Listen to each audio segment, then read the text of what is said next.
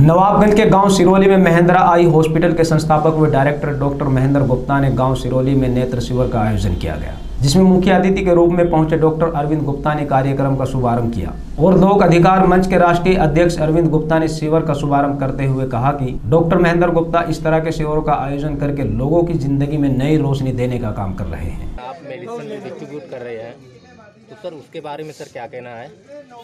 यहाँ पे जो आई का कैंप लगा हुआ है इसमें जो गरीब और वैसे परिवार के लोग हैं, जिनके लिए व्यवस्थाएँ नहीं हैं, जिनके आर्थिक रूप से कमज़ोर हैं, उनका यहाँ पर फ्री ऑपरेशन इसके साथ एक इमरजेंसी मेडिकल किट वो मेरे द्वारा दी जाएगी।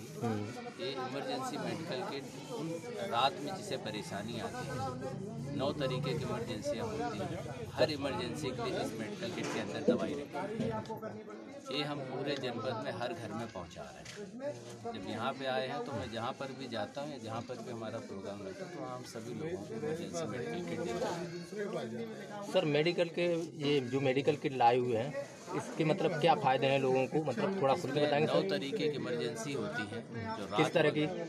उल्टी होना दस्त होना सांस फूल जाना